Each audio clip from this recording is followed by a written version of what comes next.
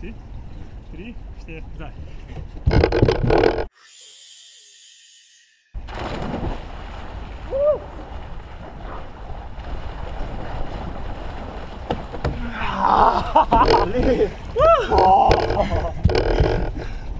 Zdaj smo že iz vode, ampak je bilo res hudo. Ah, Noro.